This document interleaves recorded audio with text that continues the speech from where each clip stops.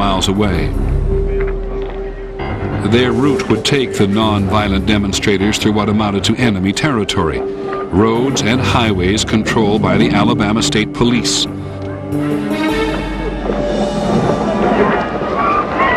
And they came toward us, beating up with nightsticks, with bullwhips, and trampling us with horses.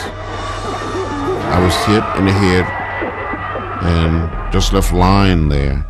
And I, I felt like I was, I felt like it was the last protest.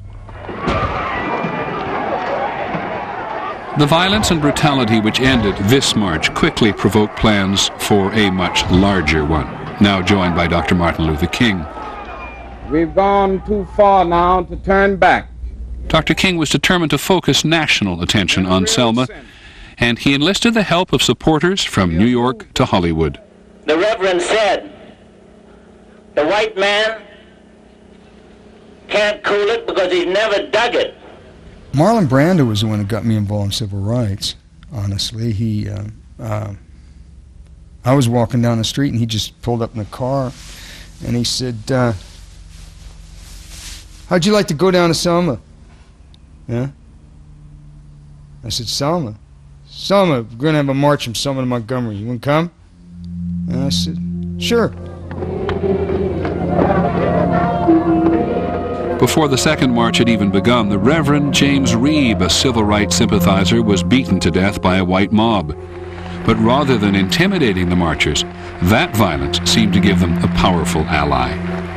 That night, I was with Martin Luther King Jr. in Selma when we heard Lyndon Johnson. We watched him make one of the greatest speeches any American president ever made on the whole question of civil rights.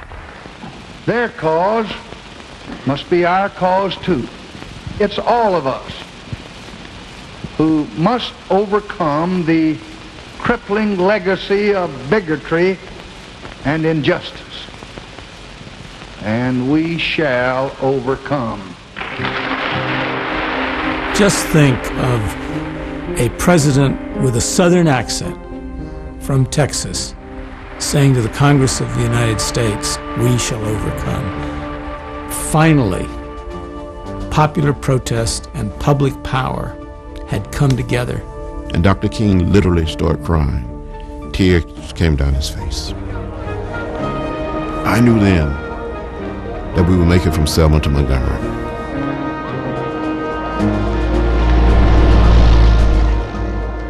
On March 21, 1965, 3,200 people set out from Selma.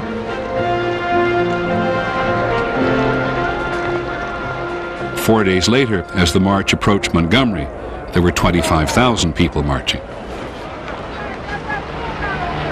was an amazing moment. It was, it was scary. It was scary. There were helicopters everywhere, like uh, some sort of angry bugs. And there were only Confederate flags flying. We were the only ones with American flags. Yeah, and Martin Luther King gave a great speech.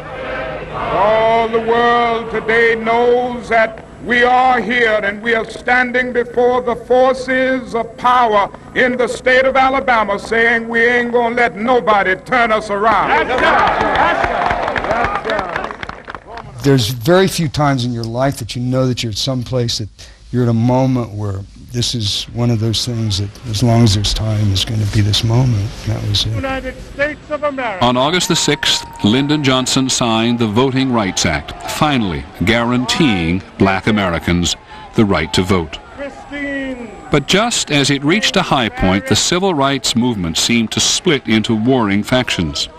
A revolution of rising expectations stirs people to believe that the promised land is there it was when change was coming, when there was a sense of possibility, uh, that everything broke loose and went wild. You're better than the white man. You are better than the white man. And that's not saying anything. Despite the gains of recent years, it seemed to many blacks that the pace of change was too slow, that Martin Luther King was too accommodating. These blacks began to adopt the separatist rhetoric of the charismatic Malcolm X. I used to hear Malcolm say, if a man slaps me in the face, I'm not turning my cheek. If I slap him back, he won't slap me again.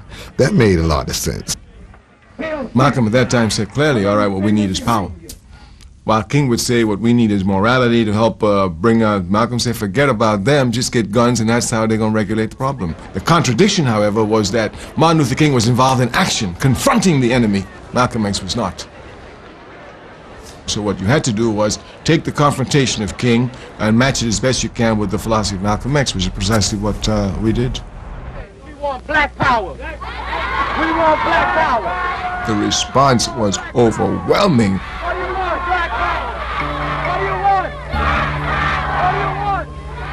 In 1966, militants in Oakland, California founded the Black Panther Party for self-defense and told America that the fight for civil rights would never be the same.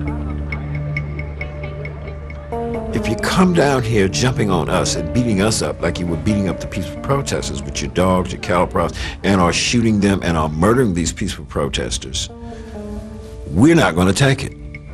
When you start shooting, we're shooting back.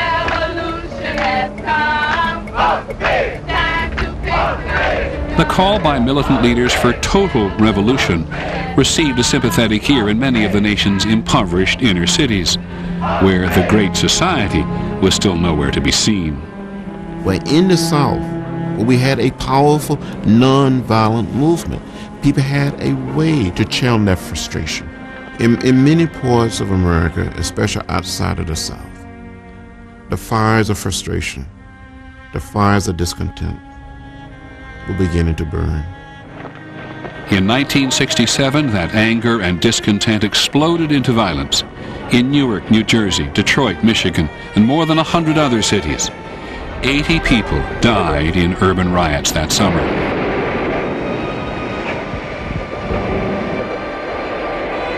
Lyndon Johnson was shocked, I think, at the riots and angry. He took it personally and he got angry at blacks for being ungrateful for how these great laws had been passed. Despite his disappointment, Lyndon Johnson believed that his war on poverty could still succeed. All he needed was more money. Well, the president said to me, you know, we have this uh, war going on now in Vietnam. It's going to take up all of the extra money we have right now uh, to fight that war. But he said, Sarge, look, we're going to be out of that. We'll, that'll be finished in the next 12 to 18 months. As soon as that's finished, I will take the money we now are devoting to the war in Vietnam and we'll put it into the war against poverty. Obviously, that never happened.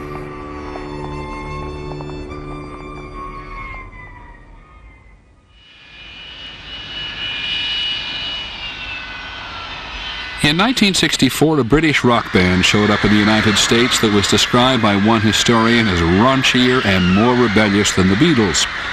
They were called the Rolling Stones. And in the mid-1960s, they created a song that became an anthem. I had one of the first uh, early Norelco sort of cassette players in 1964 5, and I put it next to the bed and I, with the guitar and I crashed out.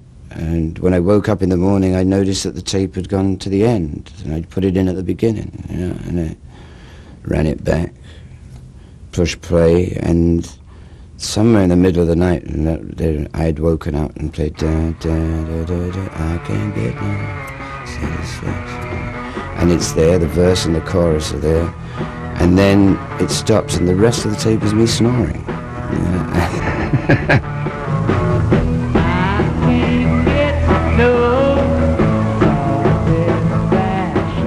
Rock music had accompanied America's youth on its journey to the forefront of the nation's consciousness with songs like Satisfaction, number one on the charts in 1965. The journey took quite a radical turn.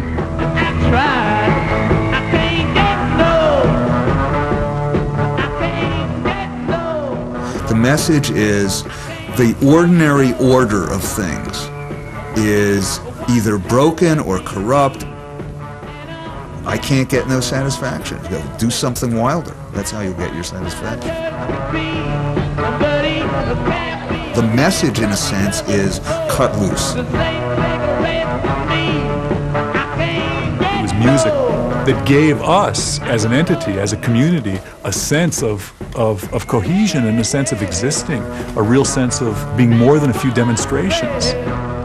The Rolling Stones, Janis Joplin, The Doors, Bob Dylan, all of them sang in a way that invited challenge to the establishment. I think people were absolutely waking up, but they didn't know exactly how to get out of bed yet and what to do when they put their feet on the floor. We began to look around for things to do which would alert people to other possibilities, other ways of living.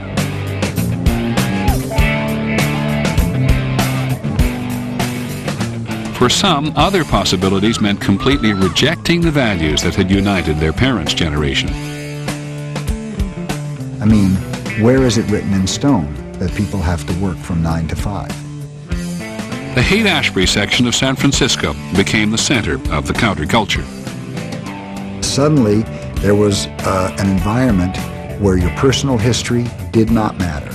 Nobody cared who your parents were, whether you were rich, whether you were poor. You get up every day and you had no idea what the day would bring.